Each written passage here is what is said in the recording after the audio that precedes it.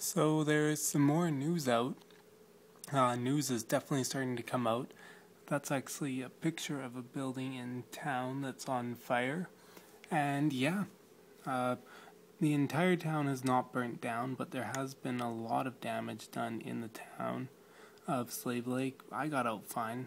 I'm now in Edmonton, just chilling in a hotel. But uh, yeah, definitely there was some damage done, but I'm not sure exactly how much, as they have not quite everything has been destroyed, but uh, probably a lot of stuff finally starting to come out. For those of you who are wondering, or the one person who is wondering, I've actually been using my iPhone to record this and upload straight to YouTube. That's how I was getting it up, uh, because none of the cell towers had been burnt down. So, anyways, uh, yeah, right here it's saying about 30% of the town has burned down. So a ton was definitely burnt down, uh, and we were finally let off, let out of, and then of course at 10 p.m. a mandatory evacuation, and yeah, so people went everywhere.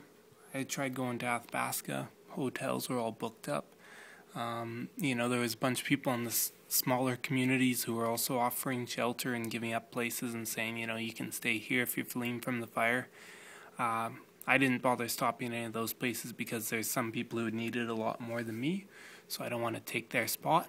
And overall, I'm pretty fine, other than the fact that whatever I left in the house is probably 100% burnt down right now, and yeah, so that's sort of uh, for now an end to this whole fire saga for me. Is for a day or two, I'll just be hanging out here and doing nothing.